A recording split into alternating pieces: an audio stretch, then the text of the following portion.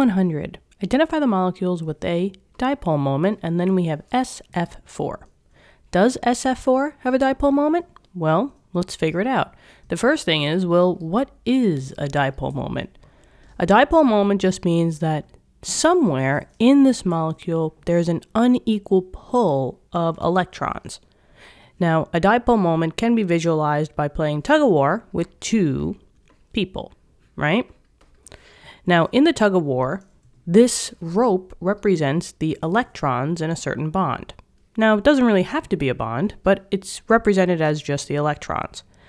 And if one atom pulls the rope one way, it's an unequal distribution, right? Clearly, this one pulled the electrons away from the other person or the other atom. And when you have that unequal pulling, that's a dipole moment. And the only molecules, whoop, the only molecules that have a dipole moment are polar uh, molecules. So let's write that out. So polar molecules.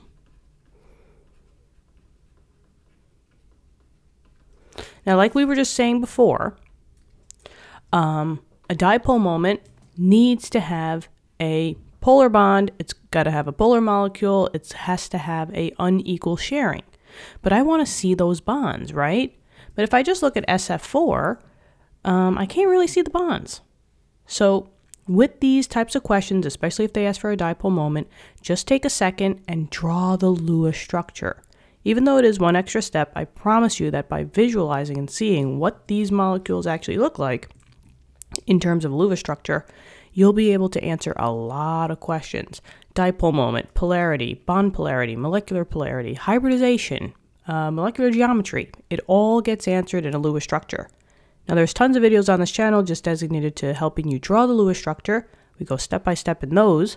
But this one, we could play it as pause the video and see if you can draw out SF4. And then see if your Lewis structure matches mine. So to draw this, we have sulfur in the middle, because fluorine is the most electronegative element, so it can't be in the middle. And then I'm just going to draw four fluorines around uh, the sulfur maybe one, two, three, and four. It does not matter, you know, where you put the fluorines. You could have put them one, two, three, and four. Um, maybe I'll do that. Just to kind of go with the flow. So one, two, three, and four. Each fluorine has to have a single bond, mainly because it's got seven lone electrons, so it only needs that one more. And then each fluorine has the six dots around them to get the octet. So that fluorine's good. This fluorine is getting there. And last one. And now sulfur on the uh, periodic table, sulfur has six electrons. It used four of them, one, two, three, four, to make a bond. So it has one lone pair, five and six. Okay, here's my Lewis structure. We just have to figure out if this is a polar molecule. Now think back to SNAP, S-N-A-P. If your molecule is completely symmetrical, it is nonpolar. And nonpolar molecules have no dipole moments. So dipole goes with polar. If your molecule is asymmetrical, it is polar. So there has to be an unequal pole somewhere. And here's a really, really good trick to know, guys. It's not really a trick, but it's a, a common, uh, not a common theme, but like a common, you know, piece of information. That whenever your central atom has lone electrons, so the dots, it's automatically polar. So you might say to yourself, well, it's, you know, it's bound to 4 fluorine. That's all symmetrical. But uh-uh, it's got that one lone pair in the middle.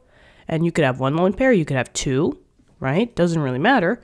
You just have to see at least one electron. And that one in the center, and that's for sulfur, sulfur is the center here, we automatically know that this is a polar molecule. And since it is polar, pa molecule. Yep, this would have a dipole moment. and we answer the question. Let's color it in. The favorite part the video. And then we are good. Okay. What'd you think? I hope this helped. Let me know in the comments. Thank you so much for viewing the video. Subscribe to the channel to help us out.